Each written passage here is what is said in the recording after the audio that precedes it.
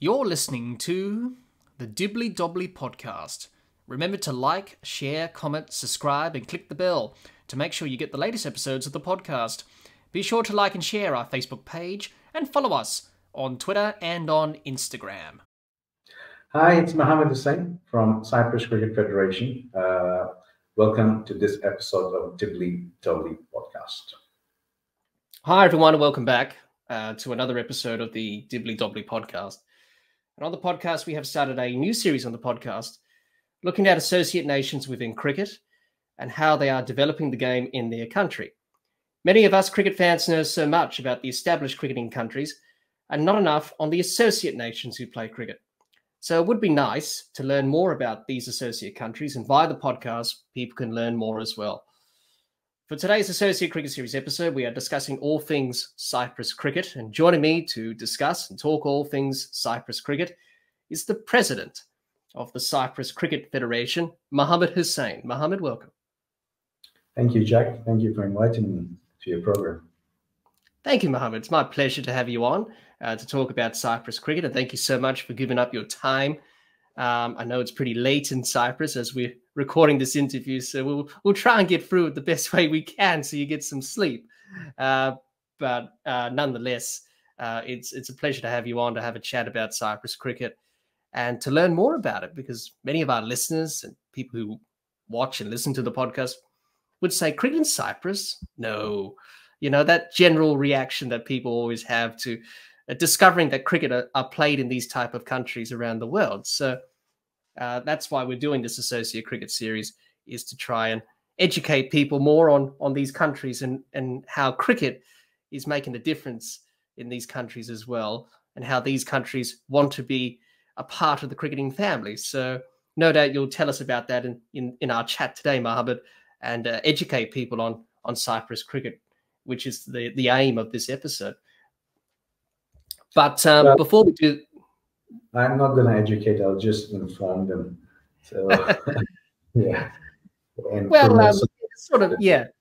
uh, but you you'll definitely uh, teach us a lot um, in this chat uh, in terms of um, you know how everything works in Cyprus when it comes to cricket and and the good work that the team and you are doing over there. Um, before we all uh, before we talk about that, Muhammad, uh, as I do with all my guests that I've interviewed on the podcast, I like to take them back to when they first got into cricket. And it's been very fascinating listening to people's memories on how they started to get into cricket. So, Muhammad, let's go back to the very beginning growing up. I know that's a long time ago now. Um, what were your earliest memories of watching, playing, and even going to the cricket? And who were some of the cricketing idols that you looked up to when you were growing up? Uh, so, Jack, I, I, was going through one or two of your episodes, uh, previous episodes, and and uh, to be honest with you, I saw you asking uh, this question, uh, and I started wondering uh, when did I really started playing cricket, or when did I got involved? And in all honesty, I have absolutely no idea when I got into cricket and how I got into cricket. I don't know whether it was through school uh, whether it was playing cricket uh, in the, the, the, neighborhood, whether it was playing cricket at home, whether it was with my father, whether it was with my aunt who was visiting us. Uh, I have absolutely no idea at this time how I got into cricket and uh, when did I first played cricket. Uh, but I mean, and, and we, we, we are we're saying, I mean, you're, you're asking me to recall what happened maybe 35 years ago. Hmm. So that it's really, it's really very difficult uh, to recall. But uh, the earliest memory is, uh, is really uh, playing cricket uh, in the garage uh, in, in, my home, you know. I'm from Pakistan originally, and I used to live in a city called Islamabad and uh, it's a beautiful city. Uh, and they've got very nice cricket grounds in Islamabad. but when I started playing cricket, let's say when I was seven, eight years old, uh, the earliest memory is playing in school after school hours, uh, waiting for the school bus uh, to take us back home, and we had to wait sometimes half an hour, sometimes 40 minutes. So we had to uh, pass that time. So we, we used to play cricket, waiting for the school bus to take us back home. Or because the school bus had to do two shifts basically. So sometimes we were in the first shift, sometimes we were in the second shift. So if you're, if you're in the second shift, uh, we have half an hour after the school uh, when the school finishes to play cricket. Or if you're in the first shift, uh, we, we reach school half an hour or 45 minutes uh, before the start of school. So we used to play cricket uh, seven o'clock in the morning or 6.30 in the morning uh, when, when, we were at the school. So the, these are the early memories. And uh, and then, yes, of course, playing uh, in the neighborhood. And these are all good memories. I mean, good fun time, very good time. And still cherish those memories. Uh, now, as far as cricketing idols are concerned, oh, I mean, you have this picture of Shane Warne behind you. Uh, and to be honest with you, um, I, I, rate him the best uh, spin bowler of all time, uh, without any doubt, the best spin bowler. Uh, when it comes to fast bowling, uh, I think it's uh, it's got to be Wasim Akram. no one has got that many varieties as Wasim Akram. Such a short run up, and he can do magic with the ball. You ask him to bowl whatever ball, he will bowl it, whether in swing, out swing, reverse swing, uh, those Yorkers. I mean, you you name it, uh, and he can do it. When it comes to batting, I would I would say it would be either Viv Richards or Brian Lara. Uh, two of the the best batters. I mean, Viv was way ahead of his time. Uh, he was playing T20 style of cricket in 90s, 80s. So he was way ahead of his time. And uh, I mean, fantastic player, unbelievable. Yeah, definitely. Definitely two uh, icons when it comes to West Indies cricket, of course. Viv Richardson, Brian Lara. Wasim Akram, he wasn't bad uh, as, a, as a bowler, and, and obviously Warney, of course. Uh, but it was wonderful to hear your memories, Muhammad, and growing up in Pakistan, which is a cricket mad country in itself. It's such a, you know, wonderful passion and enthusiasm for the game as you as you see all the time when you go over to the subcontinent in general. But in Pakistan, they they don't love the game more than anyone else over there. Um, so it was wonderful to hear your your memories and uh, trying to recall them. I know I, I, said it was a long time ago growing up, uh, trying to remember all these things. Yeah. But um, you know, I, I think you know what strikes me is that everyone has a different path into cricket. So I always love hearing people's memories on how they got into cricket, and and um, every time I interview people on the podcast, it's always a different answer. So I guess that's just the way it is in cricket. Everyone discovers it differently. Um, so was, thank you, Muhammad, for that, sharing your your introduction into cricket, your cricketing journey, and and how it all started, uh, which was fantastic. Um, I thought to uh, start this interview off, Muhammad, on Cyprus cricket. Let's talk about the history of cricket in Cyprus. Uh, you can learn a lot about cricket from its history. And the history of cricket in Cyprus is quite interesting. I did a bit of research and reading. It's really quite interesting on, on how cricket became a thing in, in Cyprus. So if you can give us a brief overview, Muhammad, on the on the history of Cyprus cricket for us. Yeah, certainly. Um, I mean, uh, even I didn't know uh, until a few months ago that the first game in Cyprus was played in late 1800s. Uh, but uh, cricket really got into Cyprus after the Second World War uh, when the British military established its bases in Cyprus, and they brought cricket uh, to Cyprus.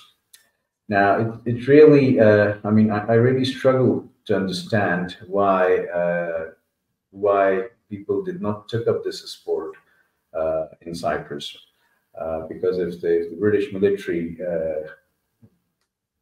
were, playing the game from 1940s or 50s uh, it's it really surprises me why uh, why people did not take up this sport in Cyprus. So uh, in 19 uh, late 1980s, I think I think it was either 87 or 89. Uh, the first non-military team uh, was founded, was established.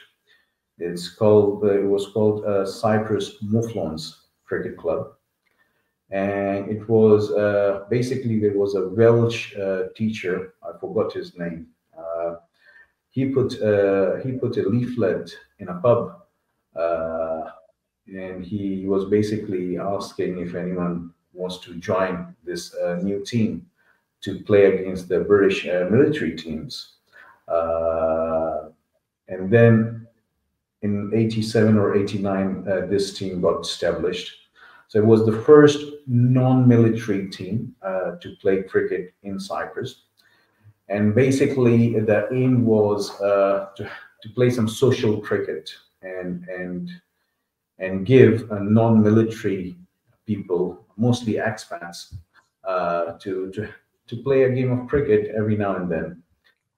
Uh, and uh, to get into the military league, they always used to offer uh, barbecues and drinks uh, to the to the military teams basically, so that they can get a game.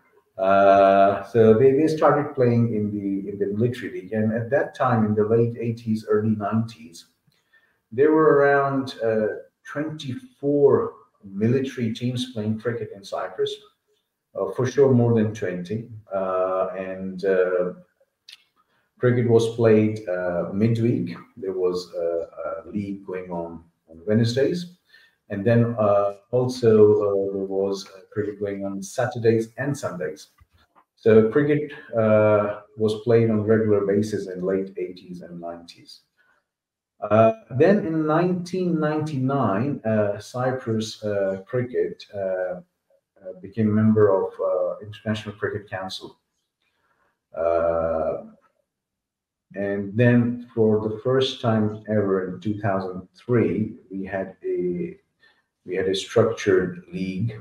So first time ever um, was 2003 when we had Cyprus Cricket League games uh, that took place. Uh, and there, there were only six teams at that time. Uh, all, uh, I think, five mm, civilian sides or non-military sides and one military side. And the first league was, uh, not surprisingly, uh, won by the military side. Uh, it was called WSBA, Western Sovereign Bases Areas team. Um, they won the first league. Uh, and then, uh, since uh, then, we have our Cyprus Cricket League happening on regular basis uh, since 2003, and now it's uh, 2024. Uh, we have nearly 24 teams playing cricket on regular basis on Saturdays and Sundays. Sundays is when our main cricket is played, that is T20 cricket, and Saturdays we have our 40 over league uh, that takes place. So in 40 over league this year, we have got 10 teams uh, and in T20, we have got 23 teams. Uh, I think uh, never we had that many members in Cyprus cricket. So it has grown steadily over a period of time. so this year is 25 years of our membership with ICC. So you can say 25 years of official cricket in Cyprus. Yeah, definitely. Um, and and thank you for sharing that. Uh, how the the game got established in, in Cyprus and the history behind it.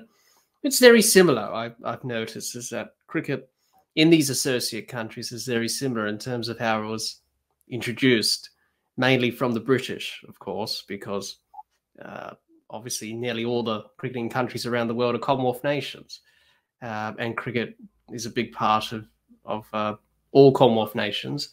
Uh, so you can uh, easily connect that with with all these associate countries in terms of uh, the British introducing the game and establishing the game, and then the game takes off, and you try and um, build it from there. And um, as you mentioned, it's it's built steadily over over the years in Cyprus uh, and uh, continues to grow and develop, as we'll talk about uh, as we get through this uh, interview, Muhammad. But uh, I think a lot of people would have would have found out a lot of new things about how the game got established in Cyprus from just listening to the brief history lesson that you just gave us there about it. Um, so thank you for that. That was very fascinating and, and very interesting to see how the game got started and developed uh, in Cyprus and continues to grow and develop uh, to this day. Um, I thought now, Muhammad, let's talk about the Cyprus national cricket teams, the, the women's and men's teams. Be good to gain your insights on the two teams and learn more about their achievements, the players' stories, because many of the players come from diverse backgrounds. Um, within the two teams. Uh, and also, some exciting news is that the, the women's team in Cyprus uh, are going to be playing their first ever women's T2 International against Estonia, and that's going to be in June in 2024, later this year. Uh, so that's exciting uh, for Cyprus to finally have a women's team come on to international cricket. And um, the men have been playing since 2021, uh, but good to finally get a women's team in and really develop and grow women's cricket in Cyprus, and you'll tell us about that in just a moment, uh, Muhammad. So, uh, Muhammad, for those who may not know a lot about the Cyprus women's and men's teams, can you tell us more about them, the players, and, and some of their stories? Yeah, sure, uh, Jack. So, uh, Cyprus uh, men's team played its first international game at that time, it was not uh, T20Is or we, we did not have uh, T20I status. Uh, we only got it in 2018 when ICC changed its uh, rules, basically. So the first time we played uh, against any international opposition was in 2006. We got invitation from ICC Europe office to play in ICC Europe Division Four championships. Uh, it was 50 over championship uh, in uh, Belgium, and there were three other countries: Luxembourg, Finland, and if I'm not mistaken, Slovenia. Uh, and and we finished a very credible second in that uh, outing, and and we we did quite all right. That was way back in 2006. Uh, the person who captained the side, his name is Michalis Kyriakou, uh, a very Cypriot name. Uh, he is a Cypriot by origin. Uh, he he his family moved to South Africa some time ago, and he learned his uh, cricket in South Africa before moving back to Cyprus. So when he moved back to Cyprus, uh, he got involved into cricket, uh, and then uh, he's a he's a pretty decent player. I mean, uh, left-arm bowler, right right-hand bat, batsman. Uh, he used to open the batting for the Cyprus team as well. He used to open the bowling for Cyprus team. Very athletic fielder, uh, and he he led the side very well. and we, we finished second in that tournament. Uh, so next year again, uh, we got invited uh, by ICC uh, Europe in a in a 50 over uh, competition. it was Division Three that time. And again, it was in Belgium, and we we finished second to bottom. So on, uh, I mean, previous year uh, we finished second, and this year we finished second to bottom. It was, I think, eight eight teams that were involved in that tournament. The only comfort that we can take is the team that finished above us in 2006, Finland. We finished above them the following year. So, uh, so that's that's the only comfort we can take out of out of there. But uh, but things changed, uh, uh and it, it, it, took a positive turn in 2009, and that was the third time we played in an international tournament. And we hosted the tournament in Cyprus. Uh, it was ICC uh, European uh, Division 4 50 over competition. So from Division Three, we got relegated to Division Four. Uh, so we were playing in Division Four. We hosted the tournament. It was September uh, 2009 uh, at Happy Valley in Episkopi near Limassol. And the other teams who took part in that competition were Switzerland, uh, Finland, uh, Luxembourg, Austria, uh, Slovenia. Um, so we uh, we finished uh, top of uh, the table on net run rate. So Cyprus, Austria, Switzerland finished level on points, and it's just that we had a better net run rate.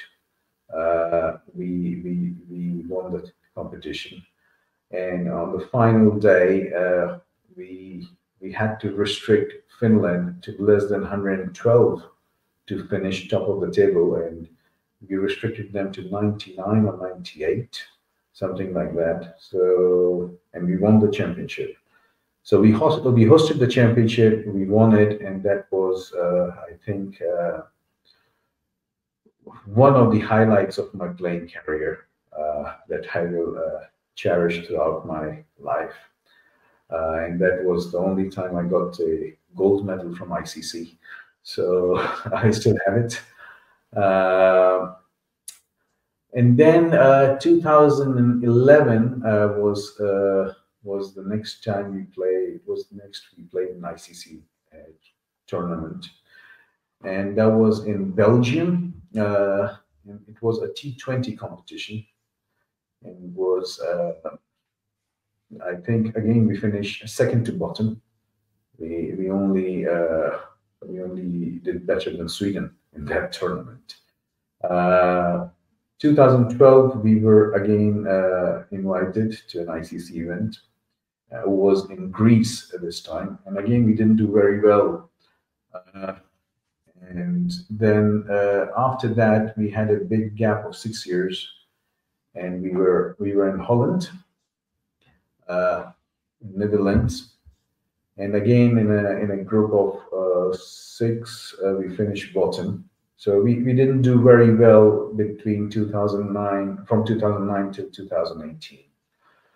Uh, but then uh, in 2021, uh, yeah, after 2018, we played in we played next in 2021 in international cricket and that was in Cyprus. So we hosted uh, T20I uh, trilateral uh, series. It was uh, Cyprus, Estonia, and Isle of Man. And before the tri, uh, tri series, we had a bilateral means uh, with against Estonia, two games bilateral series. So we we finished second in that tri series. So, and then uh, the following year in 2022, uh, we were in Finland. Uh, we took part in ICC uh, European Championships, and we did pretty well. Uh, we finished uh, fourth. we finished in the semifinals. Basically, there were 10 teams taking part, and, and we finished fourth in the in the tournament. So that was that was a better performance and and now after, uh, since then we haven't played any T20Is. Uh, and uh, this year, 2024, we are hosting Estonia again in June, uh, and then we will be in Guernsey uh, playing ICC uh, qualifiers, T20I qualifiers. but before we play the qualifiers, we will be hosting Estonia, as I just said, T20I bilateral uh, six games series. And at the same time, uh, we'll be hosting the Estonia women team, uh, women national team, who will be playing against Cyprus women national team. Uh, and I think we are not the only ones uh, who have only one local team, and and that team is making up our national team as well. So uh, uh, the girls uh, or the ladies have been practicing for some time now.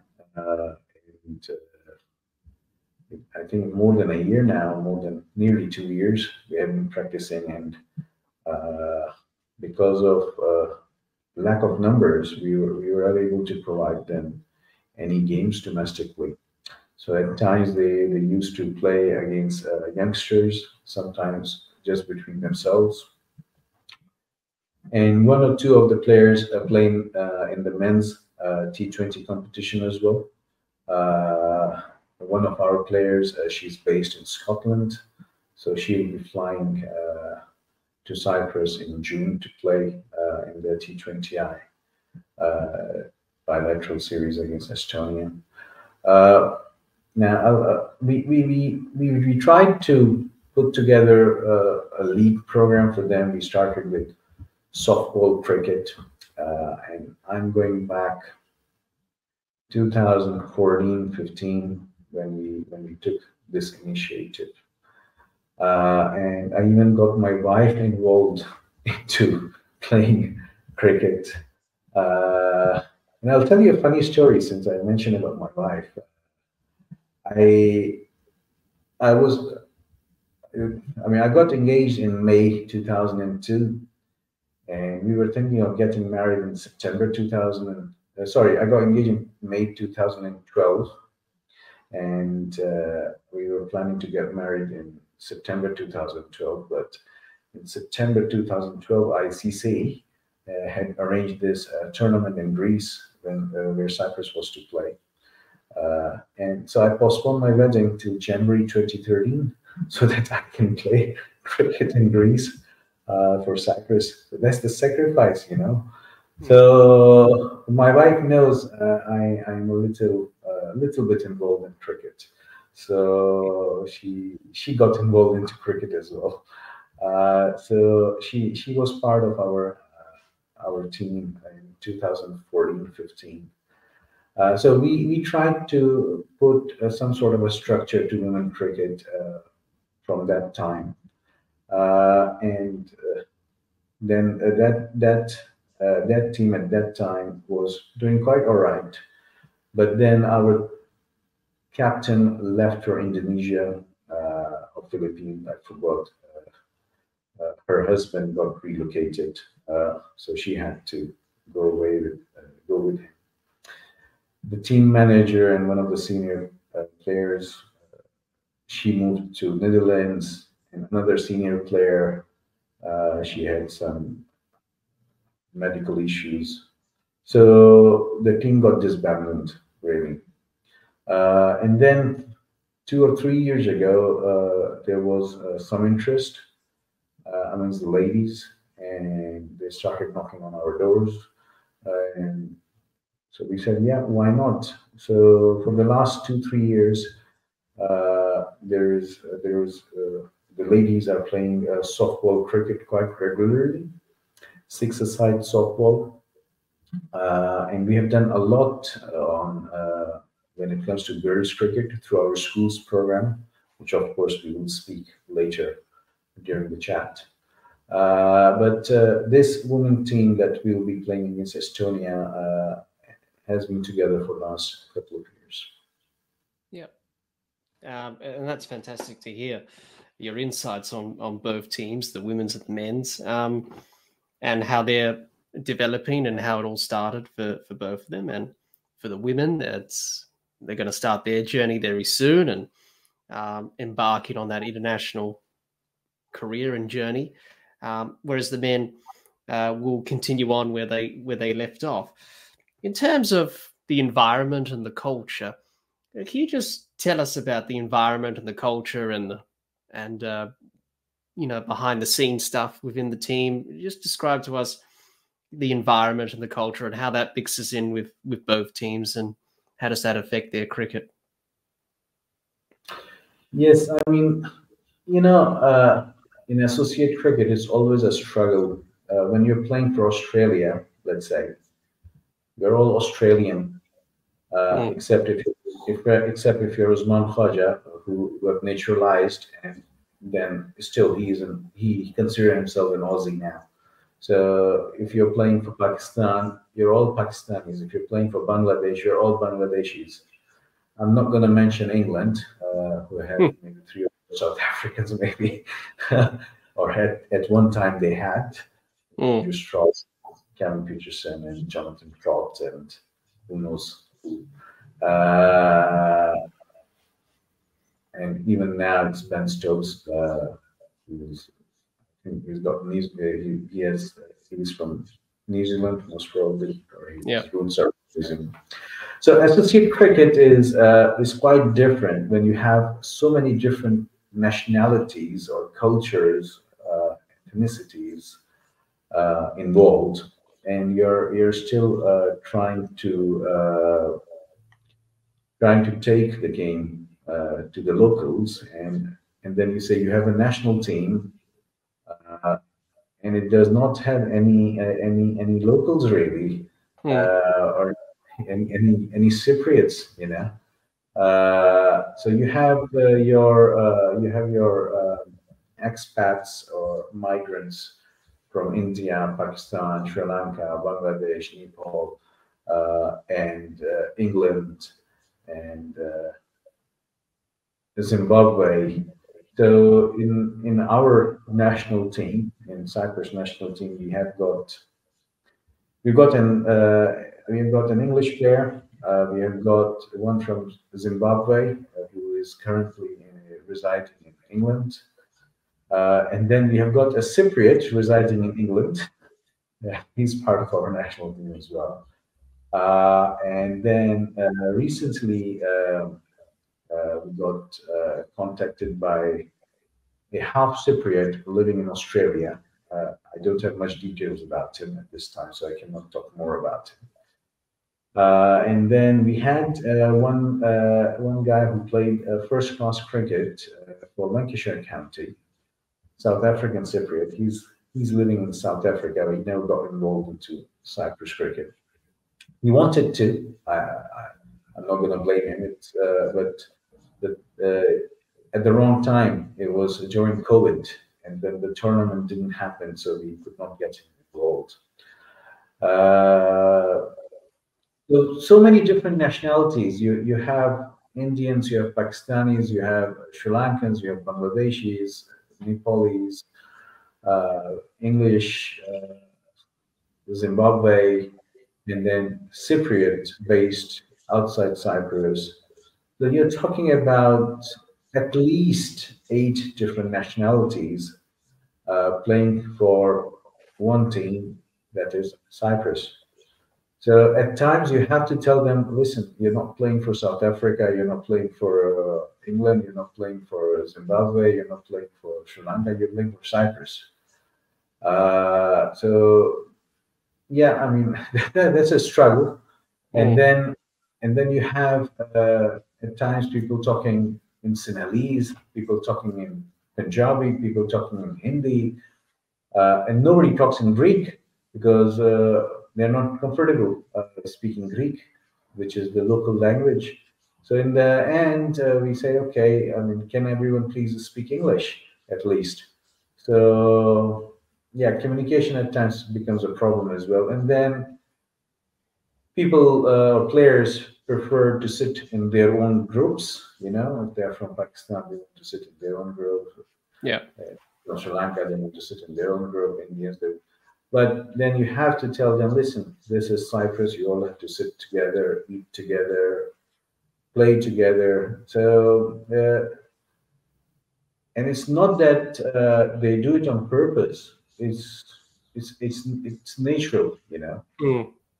Uh, and and when when we tell them, they they say, yeah, sorry, uh, our mistake. Yeah, you're right, and we, we should act uh, differently we should act like a team. So at, at times you have to remind them you're playing for Cyprus. So with so many different ethnicities, nationalities involved. Yeah, definitely. Yeah, that's that's a big problem with associate countries around the world. Um, they always face that problem trying to, you know, get the team together and bond together.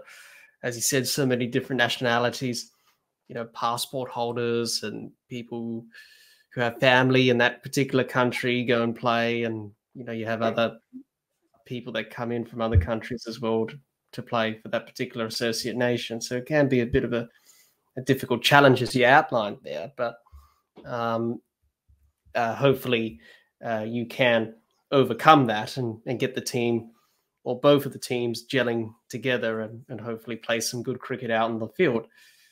Um, in terms of performance and, and that, you, uh, have you seen a, a big difference in performance? Uh, uh, you know, the performance is improving with every tournament, every game that the national sides play. Well, uh, the men's side, because the women's haven't played much. Obviously, they haven't played any T20 nationals yet until later on this year, as we've mentioned. But for the men's side, have you seen a lot of improvement from them over the years since they have come together as a group?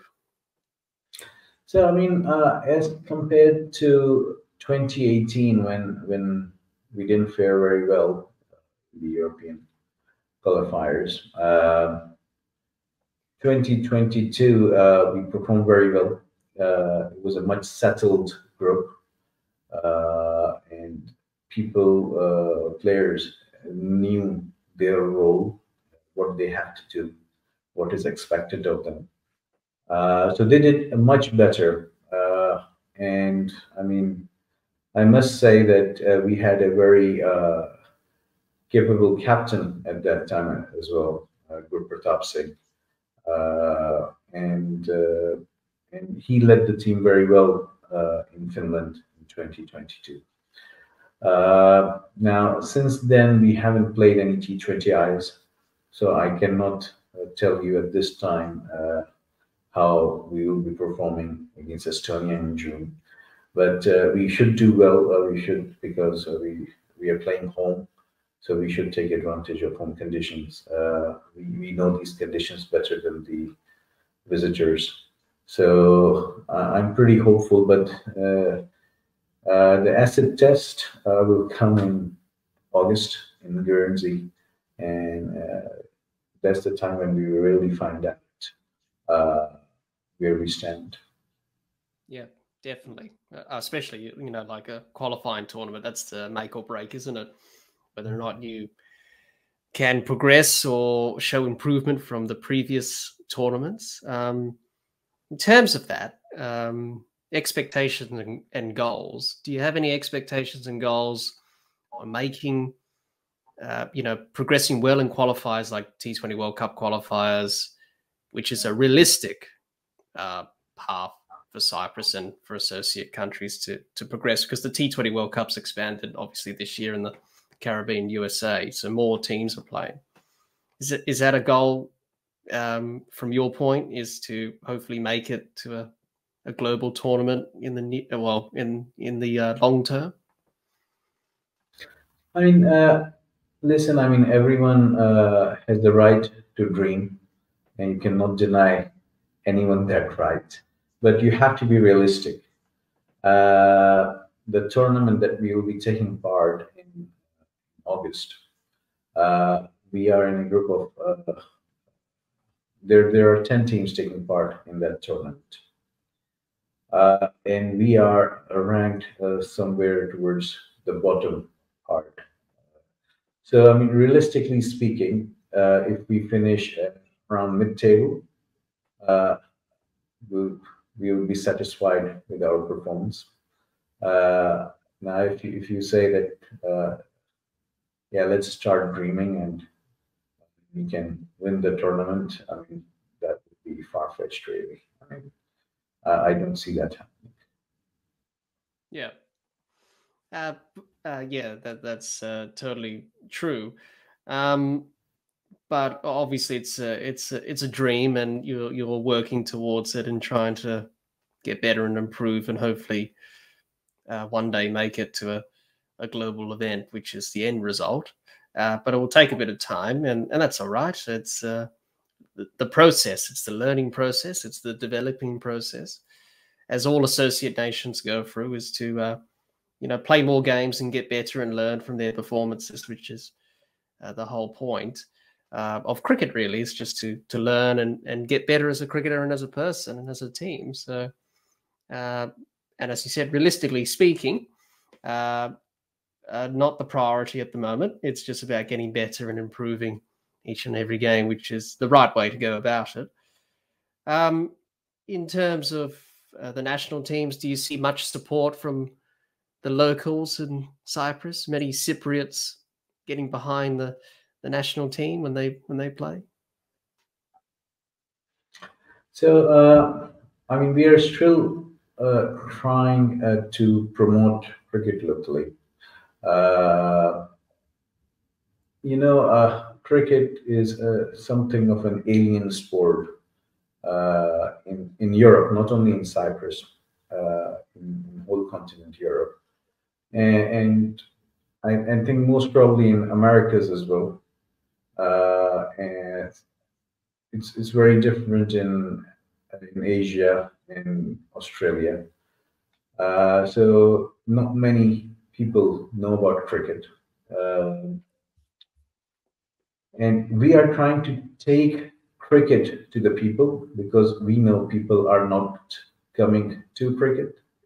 So at this time, I mean, you can you can say that we we we are still striving to get local support. Yeah, definitely, definitely. It will it'll take a bit of time for that to happen naturally, uh, but it will happen eventually. It just takes a bit of time. These things, uh, people get familiarized with the sport, uh, which is often a challenge in in associate cricket. Um, uh, just one more question before we move on to our next uh, talking point in this uh, chat, Muhammad. Um, what does the future look like for both for the the women's team and the men's team. How do you see the future going forward in terms of uh, the teams, the national teams going forward? How do you see the future? Uh, men's team, uh, as I as I just mentioned, is is going on uh, since last 18 years. 2006 was the first year when we uh, when we first played any sort of an international tournament women's is the first year. Uh, but uh, I'll be very open and honest with you on this. I mean, the women team uh, has only one uh, Cypriot national. Uh, so if if you if you are trying to build something for long term, uh, you you cannot rely on the expats or the migrants because you don't know for how long they are going to stay in Cyprus. So uh, women uh, cricket uh, is a struggle. It's it's in it's in very early stage. It's a very early stage at the moment, uh, and we need to work hard uh, when it comes to women cricket. We still need to work very hard. Uh, and what we are doing at the moment is we are trying, as I was saying, that we are trying to take cricket to the people. So recently, what happened, and this is uh, this is something a very big achievement for ourselves. Uh, we went to the uh, Ministry of Education last year, uh, and we said to them, uh, we would like to introduce cricket in public schools. And we don't want any government funding. Uh, we will provide equipment uh, to the schools. We will provide coaching uh, to the PE teachers and to the school children. Uh, and the schools don't have to pay anything as well. And uh, the only thing that we want is access to the schools. So the Minister of Education, uh, she she she listened to us. Basically, we, we wrote a letter. So she she came back to us after after a month, and she granted us permission. Uh, we can introduce cricket in the public uh, primary schools all across Cyprus for this academic year. So for us, it's a it's a big thing, uh, but then we have to manage our own financial and human resources as well. Uh, as you may know, we are nearly towards the bottom of the ICC food chain, so we don't get that much uh, money as well. So for that, I'm thankful to our sponsors. As you can see on my shirt, uh, we've got a cricket school program that is a European Cricket Network uh, cricket school program, and they are helping us towards uh, uh our schools program as well, uh, developing grassroots cricket. And then Char Navigation, uh, this they said we exclusively want to sponsor only youth cricket activities. And then uh, this year we got a new sponsor, Harry Curry, uh, and we have a long-term sponsor, Wow Financial. So these are the guys who are helping us financially, apart from ICC, uh, when it comes to grassroots development. Uh, so with their support, uh, we got into schools this year. And this year, we are saying that we will do most of the uh, primary schools uh, in Paphos region and Limassol region. And we're talking about nearly 50 plus schools or nearly 50 schools and we're talking about 10,000 kids playing cricket in Cyprus uh, this year. And that's a big, big number for us. Uh, and uh, this is the first step uh, towards establishing a proper women or men national team because if we don't introduce cricket to these youngsters now, you will never get Cypriots involved into cricket. So if they start young, hopefully there is a very good chance in five, ten years time, let's say 10 years time, they'll be interested in playing uh, for the Cyprus national team, either for men's team or for women's team. So that's the plan. Uh, and that's our vision at this time that we keep working uh, on our schools program, try to develop cricket amongst the youngsters at grassroots levels, and hopefully uh, we will uh, we will succeed, uh, and hopefully we'll have these youngsters involved uh, in men's and women's cricket uh, in the next five ten years time. Yeah, definitely good to, good to hear that in terms of um, how, how you're going about these things in terms of um, growing the sport and encouraging uh, youngsters uh, via the school programs to take up cricket and hopefully, uh, you know, have dreams and ambitions of playing for the national sides in the years to come. So it's fantastic uh, what you're doing there, Muhammad, and the team. And it was also uh, great to hear your insights on the national teams as well. And I think everyone would agree with me. We we wish you all the best in terms of success going forward, and, and hopefully you can rise up through the rankings. It's it's a very difficult thing to start from the bottom and go your way up. And um, obviously, for those who who don't know, is that in associate cricket, the higher that you're ranked, the more funding and money you get from the ICC. It's a it's a complicated system, uh, to explain, but that's how it works, basically.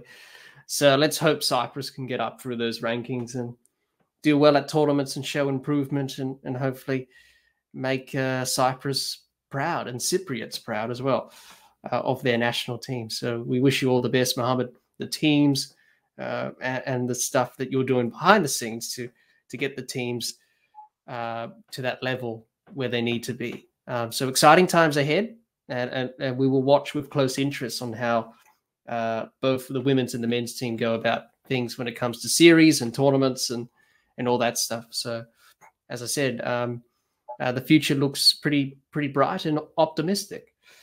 Um, I thought now we talk about the growth and development of cricket within Cyprus, Muhammad, in terms of getting cricket into local communities, clubs, schools, grassroots, etc. And you've already touched on that a little bit uh, just before. Uh, but Muhammad, this is one of the challenges that many associate nations have is how they introduce cricket and promote it, that's easier said than done. And you know, uh, as a cricket federation in Cyprus, you, and as the president yourself, you must be asking your questions, sitting back in your chair, scratching your head, and saying, "Oh, how do we go about doing these things in, in terms of getting cricket into?" Well, first of all, grassroots cricket, establishing local clubs and communities and local communities, competitions and pathway systems. How do we build that up in terms of identifying talent and you know making sure they have a pathway to the to international cricket, basically. Um, and having facilities, that's a big problem as well in associate countries like nets, grounds available for people to go and play cricket at, and access in their local areas, um, which we often take it take for granted in full member countries like Australia, for example. You can go down to your park and there's a net, whereas in Cyprus that's not the case. It's uh, pretty difficult to maintain and, and get facilities up and running and also making cricket accessible to people as well. Uh, you know, whether on TV or the internet or streams or whatever, try to make it accessible for people to watch and and access to. And also, as you mentioned before, Muhammad, getting in into schools, cricket into schools and programs, uh, which is important as well. So, Muhammad, what challenges does the Cyprus Cricket Federation have in trying to grow and develop cricket in the Cypriot community? And do you see cricket becoming a mainstream sport in Cyprus anytime soon? So, uh, our challenges are no different to any other associate country. Uh, whether you are in the Netherlands or in uh, Spain or in Germany, uh, you all have the same challenges. Uh, now, some would say that they are getting more money, but their challenges are the same. The money that they are getting is still not sufficient. So, first thing, I mean, I, am very content with the money that we are, the funding that we're getting from ICC. I'm not going to complain about it. Uh, it's all about managing uh, your resources uh, so we are we are happy or we are content with where we are when it comes to finances. Uh, and we have to uh, we have to see. I mean, the challenges. I mean, how how to tackle them basically, how to address them. Uh, and challenges, as you just mentioned, uh, facilities. I mean, we don't have any indoor facility uh, because uh, one of the main reasons is uh, you've got such a beautiful weather in Cyprus. Uh, we play cricket nearly uh, 12 months a year. so our 2023 season finished on Boxing Day. and then 2024 season started mid-January. So, I mean, we don't need, uh, we are not really that desperate to have an indoor facility. But obviously, it is good to have one uh, because the summer months are quite uh, hot. Uh, sometimes uh, the, the, temperature reaches 45 Celsius. Uh, so it's it's a bit hot, you know, to play cricket outdoors. Well, we have played cricket outdoors in that weather as well that temperature. Uh, so challenges are yes, facility is one challenge. Uh, we are we are fortunate uh, in a way that uh, we can access the British military grounds, and uh, we have got quite a few of them accessible to us. Uh, so we, we are lucky in that sense. We've got beautiful grounds. Uh, so whenever you're in Cyprus, I will take you to uh, a few of our cricket grounds. Uh, and then, uh, I mean, so the facility is not really a very big challenge, but it's still a challenge. We are we are trying to develop facilities outside the military areas, yep. uh, so we can have our own facility whenever we want to access it. At, at, at current time, we have only one facility uh, uh, which which is outside the military area, which we can access whenever we want. And that has helped us grow cricket tremendously. Uh, in 2020, uh, we had only 10, uh, nearly 10, 12 teams taking part in our league program. Uh, now we have nearly 24. So we have doubled our numbers in, in three or four years. So, and that's the, that's the benefit of uh, having a facility which is accessible uh, anytime. Uh, the other main uh, challenge is uh, human resources. I mean, we, we rely a lot on volunteers. Uh, now, when it comes to youth cricket, uh, it's the parents who volunteer at times, or it's the club members uh, volunteer at times, the national team uh, players who volunteer at times. So we we rely a lot on volunteers to make cricket happen. Uh, same goes with umpiring the games as well. Uh, again, we rely on the volunteers to help us out when it comes to umpiring. So human resources uh, is is another problem, uh, or another, not a problem, a challenge, I would say. So these these are the two main challenges, really. Uh, I'm not going to talk about financial challenges. Uh, I'm I'm I'm content. Uh, fine. We have to live within our own means, and we, I think we have got uh, good enough finances. We can live within our own means this time. Yeah, definitely. Um, well, that, that's very encouraging to hear uh, that there is some growth and development of the sport in Cyprus, and, and uh, obviously uh, some challenges as all associate nations have. Um, I always ask this question to everyone, Muhammad, that I've interviewed on this associate cricket series. Uh, to excuse me, many of the people that I've interviewed, um, and that's the relationship with the ICC. How do you how do you see the relationship between Cyprus and the ICC? Do you have a good relationship? Uh, very understanding and supportive? fantastic relationship. I mean, uh, we we are we are on very friendly terms. Uh, whenever I have knocked on their door, they have always supported me uh, or or supported Cyprus. Uh, they they are always uh, available to take your call whenever you want to speak with them. Uh, and I mean, with, with, WhatsApp, it's even a lot more easier now. You you send them a text message and you'll have an answer. I mean, pretty soon. Uh, so I mean, at this time, I mean, I would say that we have a very good relationship with ICC, and I think they can say the same about us as well. Uh, and thankful uh, to them for their support uh, whenever we seek any advice or any solution to a problem, uh, they're always there to help us out.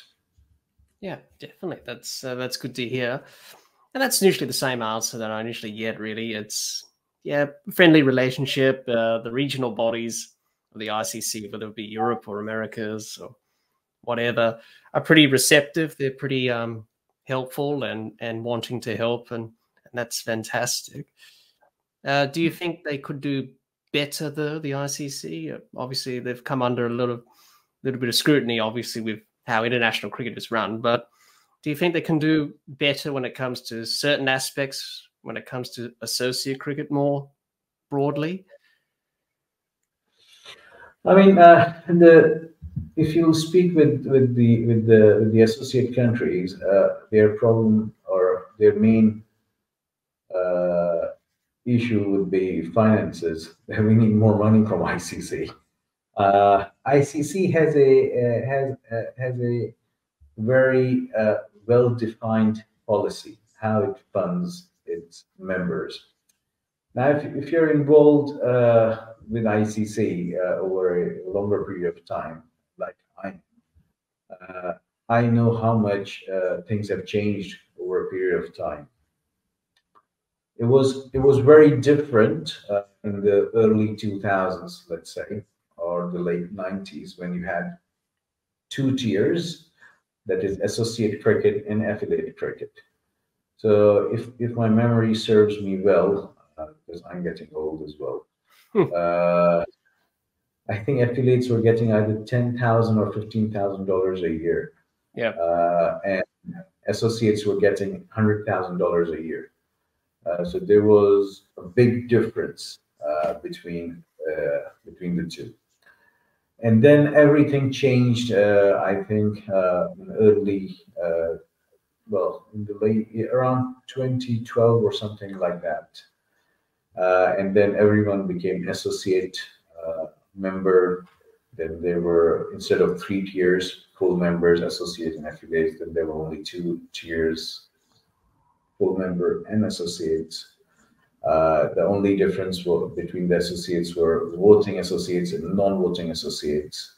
So top 40 associate members had voting rights at ICC, AGM, and the remaining still do not have any voting right. They, they have only one vote through their global rep, basically. So the the only uh, the only complaint you will get uh, from associate cricket about uh, ICC is is the funding policy, but I'm not going to complain about it because I know uh, how things have changed over, over, over a period of time. And, and we are going in, in the right direction. Uh, the scorecard funding is there, the competition grant is there. So it's really up to the countries uh, to perform well and access uh, more funding. Uh, so countries really have to have to improve themselves uh, and ICC is there to uh, to give them the support, the financial support that they need. Uh, you help yourself, basically. That's the thing. Yeah, definitely, definitely. Um, and also another another thing as well as the Olympics, yeah, the inclusion of cricket in the Olympics, and that's a big impact on associate cricket as well, because um, you know we've any Olympic sport, you get funding and uh, you get backing as well. Has there been any talk about that in terms of funding in Cyprus with cricket now being an Olympic sport? Have you had any approaches from the government or sporting bodies? So, uh, we are not yet a member of Cyprus National Olympic Committee. We have submitted uh, our membership application and hopefully uh, this year, uh, maybe this month, uh, we will become a member of Cyprus National Olympic Committee. Uh, it should have happened end of last year, but I'm very positive sometime this year it will happen. And then we will have access to Olympic funding, uh, which is available either through uh, Cyprus National Olympic Committee or uh, Cyprus Sports Organization or directly through uh, International Olympic Committee uh, Solidarity Fund. So uh, we are we are pretty positive that if uh, not this year, uh, next year we will be able to access some Olympic funding. Yeah, absolutely. it's definitely a big game changer when it comes to associate cricket. Even though if uh, the country in these associate countries don't qualify for the Olympics, but you know it's on TV. People can see it, and people can say, "Oh, I didn't know that we had a cricket team. Um, I take up the game myself." So it's a, it's a positive thing, isn't it?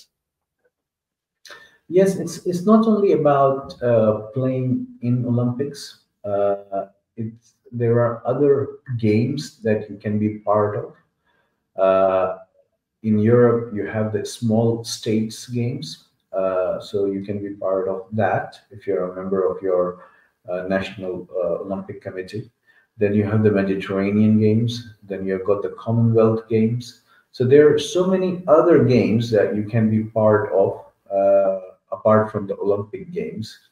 Uh, and I mean, there you have the media exposure. You you you, you get promoted more so yeah, I mean, uh, the opportunities are are there, and there are far more opportunities. Uh, so I hope that cricket becomes a permanent sport uh, at Olympics.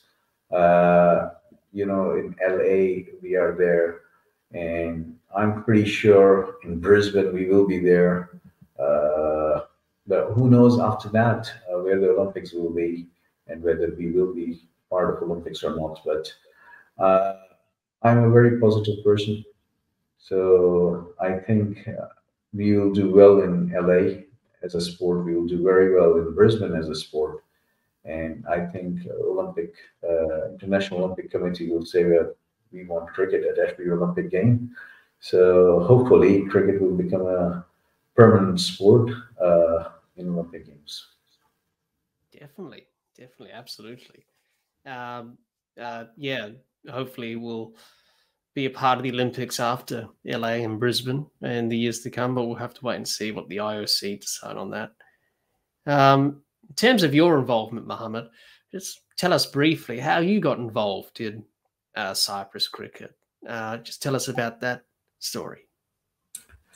Yes, uh, interesting story. Uh, I got involved in 2004 5. I don't remember the exact year. Uh, I was uh, studying at the university, uh, and I found out through one of my classmates uh, that Cyprus Cricket is organizing a six-a-side competition. Uh, we said that let's uh, put together a team and play in that competition. But we were unable to put together a team, but that's the first time I found out that cricket has been playing in Cyprus.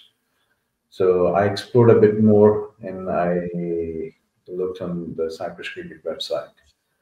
And then I found out there are uh, eight teams playing in the league uh, at that time. And I am based in Limassol. So in Limassol, there were four options or four teams playing were based in Limassol. So one was uh, Amdocs, but I know they're, they're a software development company.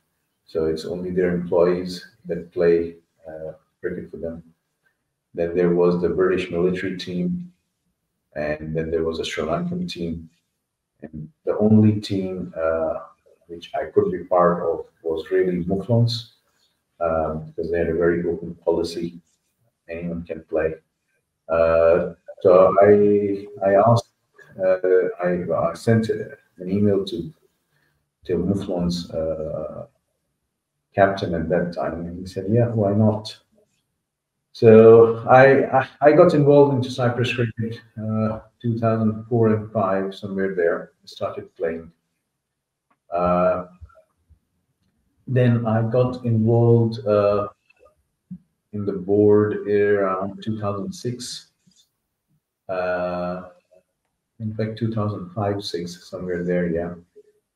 Uh, and then uh, I I helped Cyprus Cricket organize the ICC uh, European Division 4 Championship in 2009.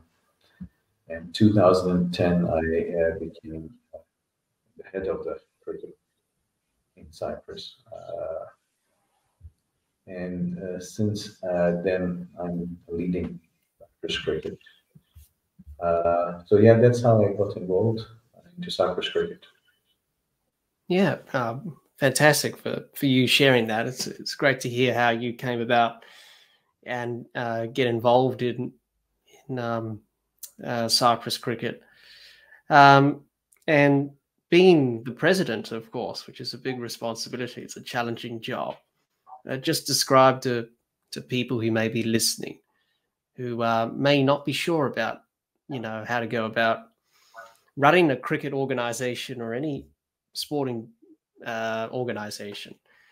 Uh, what are some of the challenges that you've encountered in this position over the years in terms of, you know, trying to oversee everything when it comes to Cyprus cricket?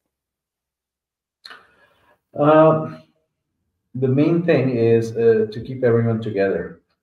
So that, that's the biggest challenge. And sometimes you don't have like-minded people. Uh, so it, it becomes uh, pretty difficult so if, if you have like-minded people, you can work with a very small team and you can make things happen. So I'm I'm I'm very pleased to tell you that at this time, although it's a very small team, uh, but uh, we work together and we, we try to support each other.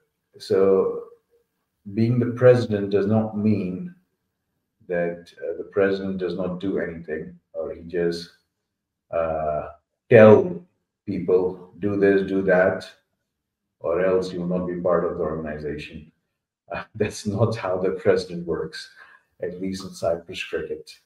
Uh, basically, you have to dirty your hands and you have to make things happen. Sometimes you have to act like a groundsman. Sometimes you have to put on your umpiring hat or the scorer's hat.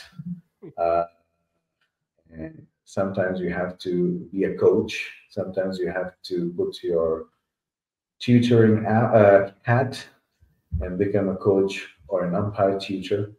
Uh, sometimes you have to uh, go to schools and do some coaching at the school. Sometimes you have to uh, go uh, and do coaching uh, on a Saturday morning. you have to help the league secretary as well at times sort out a few things. sometimes you have to sit on the disciplinary committee to help tackle a few problems. Uh, so you have to wear so many different hats, basically. And at the same time, you have to help uh, the marketing guys as well. Uh, marketing stuff, whether it's social media or sponsorships. So being the president does not mean that you have to tell. You have to you have to get involved and wear all those different hats and make things happen. Uh, because uh, again, in the associate cricket, you don't have the luxury uh, of uh, that many employees working for you. You rely on the volunteers, and you have to you have to be an example. Basically, people should look up to you, uh, and not see you as as a person not doing anything, so that they have the excuse that oh, he, he's not doing anything, so why should we do? He does not care. Why should we care? So you have to be a good example that people can look up to, and so that you can make things happen. Definitely, um, absolutely.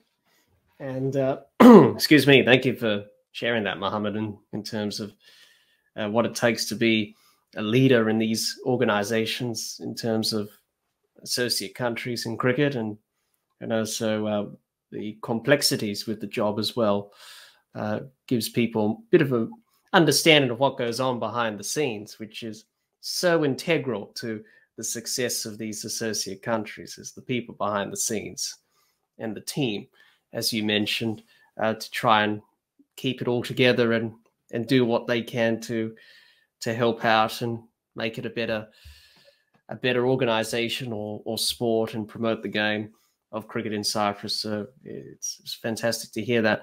And also, it was fantastic to hear your thoughts on the growth and development side as well of the game in Cyprus. Some good stuff happening there uh, with the schools program, as you mentioned earlier, um, and some other things happening as well, which is fantastic to uh, to hear and very encouraging signs going forward. So, uh, yeah, obviously, it's a excuse me, a very important aspect of cricket is trying to uh, grow and develop it, um, which can bring challenges. But uh, from what you've said, those challenges are being met head on and, and trying to be overcome, and, and hopefully they will be, and, and hopefully the game will grow steadily in the years to come in Cyprus, which is which is fantastic. So uh, great to hear your thoughts on that uh, as well, Muhammad.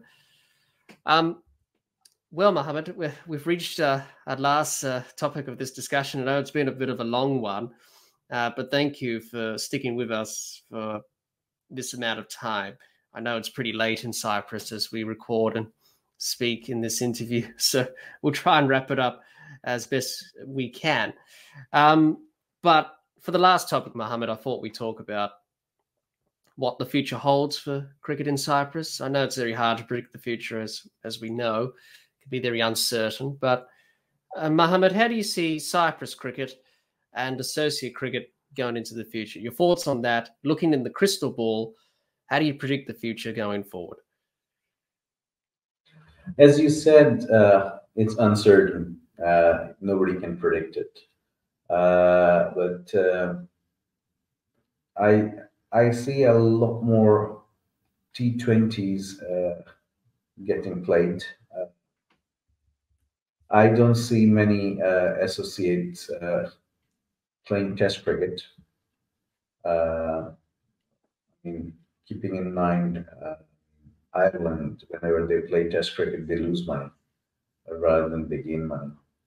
Uh, so I don't know if, if, if if that's the direction associates want to go to. Uh, but I see a lot more money getting involved in associated cricket. Uh, you can see it with US cricket, uh, what's happening over there. Uh, you can see with uh, Canada, you can see it in UAE, all these big franchise cricket tournaments happening over there. So I see uh, cricket uh, becoming more commercial uh, and associates taking advantage of it as well. Uh, and and that's not very uh, far away. Uh, I see it happening very soon in most of the countries. Associates just have to get the facilities right. If if they if they get some decent facilities uh, they can uh, they can access uh, these commercial opportunities. and and the thing is, I mean, if you look at ICC's scorecard model, the funding model, the more money or the more non-ICC income you generate, ICC reward you more. So the more commercial opportunities you gain, you'll be getting even more money from ICC. So it's really up to the associates uh, to up their game. And uh, the main thing is the facility. I mean, take it purely from a business point of view. If you don't have a shop to sell your product, how are people going to come and buy your product? Uh, cricket is not at this time a digital product. So you have to have a shop.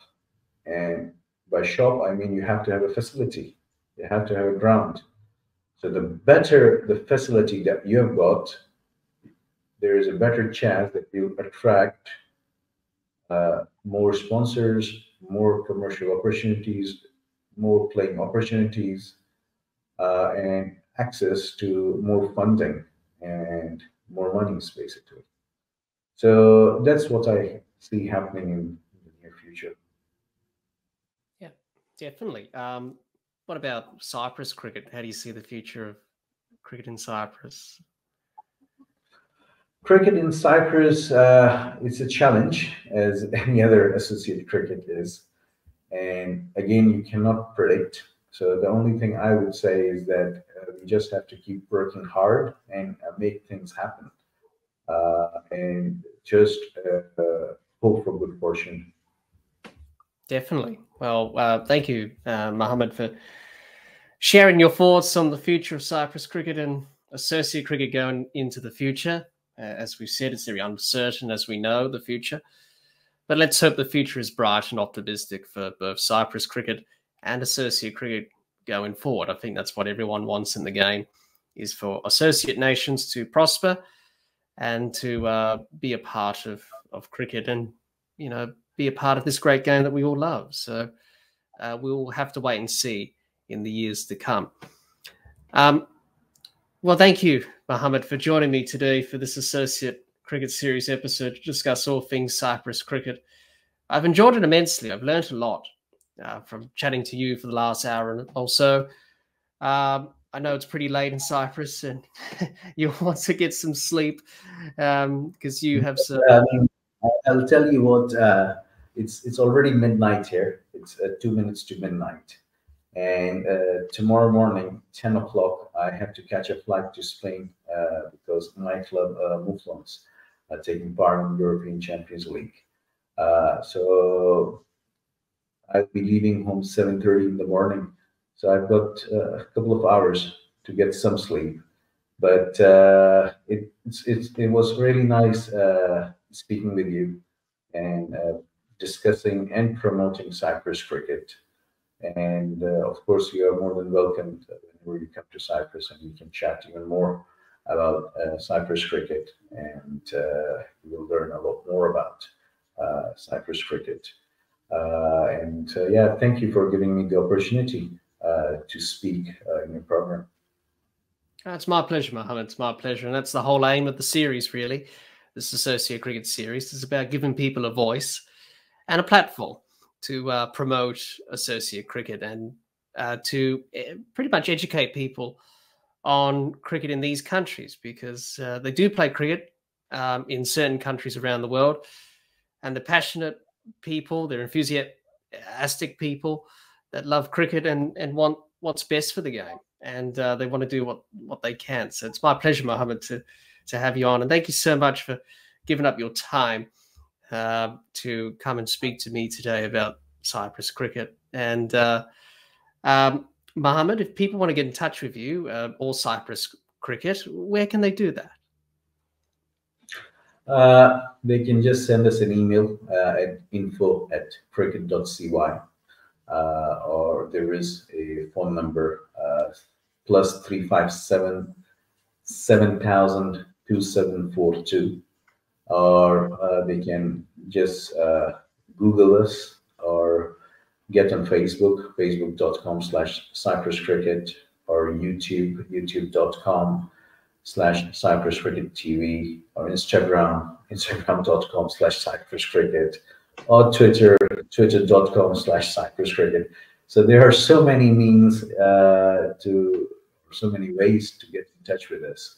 We are even on TikTok, tiktok.com slash at Cyprus Cricket. So, I mean, all major, all popular social media channels, we are there. Uh, I already shared our uh, email address and the telephone number. So it's, it's very easy to get in touch with us. Definitely. Um, we'll leave a link to all of those in the description of this episode. So if people want to learn more about Cyprus cricket or get in touch with Muhammad personally to ask him questions uh, about Cyprus sure. cricket, he's more than happy to to do that. Uh, so as I mentioned, we'll leave links to those in the uh, description of this episode for people to check out. Uh, before we go, uh, remember to like, share, comment, and subscribe, and click the bell to make sure you get the latest episodes of the podcast. Be sure to like and share our Facebook page and follow us on Twitter and on Instagram. So the podcast is available on Anchor, Spotify, and on Apple Podcasts. Once again, thank you, Muhammad, for joining me today to discuss all things Cyprus cricket. I hope all of you watching or listening to this Associate Cricket Series episode learned a lot about cricket in Cyprus from Muhammad. Until next time, keep safe and bye for now.